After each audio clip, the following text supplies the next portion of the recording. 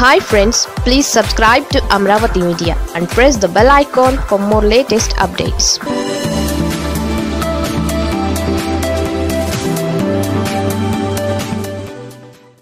ఏపీకి ఇక అన్నీ మంచి రోజులే. మార్చి పదవ తేదీ తర్వాత ఆంధ్రప్రదేశ్కు మంచి రోజులు రానున్నాయా? కేంద్ర ప్రభుత్వం నుంచి సహకారం మరింత అందుతుందా అంటే అవుననే అంటున్నాయి ఢిల్లీ వర్గాలు. ఇప్పటి వరకు ఆంధ్రప్రదేశ్కు కేంద్ర ప్రభుత్వం నుంచి పెద్దగా సహకారం అందలేదు. పోలవరం ప్రాజెక్టు నిధుల విషయంలోనూ కేంద్రం డ్రామాలాడుతోంది అలాగే వెనుకబడిన జిల్లాలకు నిధుల విషయంలోనూ స్పందన లేదు.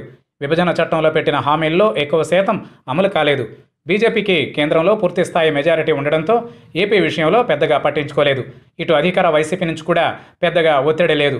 జగన్ ఢిల్లీ వెళ్ళి వినతి పత్రాలను సమర్పించి రావడం వాటిని కేంద్రం మూలన పడేయడం మామూలుగా మారిపోయింది. అయితే ప్రస్తుతం జరుగుతున్న రాజకీయ పరిణామాలు ఢిల్లీ పెద్దలను ఆలోచనలో పడేశాయంటున్నారు. ఒకవైపు తెలంగాణ ముఖ్యమంత్రి బీజేపీకి వ్యతిరేకంగా కాలు దూవుతున్నారు బీజేపీ వ్యతిరేక కూటమి ఏర్పాటుకు ఆయన సిద్ధమయ్యారు. దక్షిణాదిలో ఇప్పటికే బలహీనంగా ఉన్న బీజేపీ ఉన్న మిత్రులను కూడా కోల్పోయే పరిస్థితి ఏర్పడింది. బీజేపీ బలంగా ఉన్న కర్ణాటకలో కూడా బీజేపీ ఈసారి నెగ్గుకు రావడం కష్టమేనన్న అంచనాలు వినిపిస్తున్నాయి. అక్కడ ఇటీవల కాంగ్రెస్ బలోపేతమైందన్న విశ్లేషణలు వెలువడుతున్నాయి. ఒక ఆంధ్రప్రదేశ్లోనే జగన్ మిత్రుడిగా బీజేపీ పెద్దలకు కనిపిస్తున్నారు. ఐదు రాష్ట్రాల ఎన్నికల ఫలితాలు బీజేపీకి అనుకూలంగా రాకపోవచ్చు అన్నది సర్వేలు వెల్లడిస్తున్నాయి.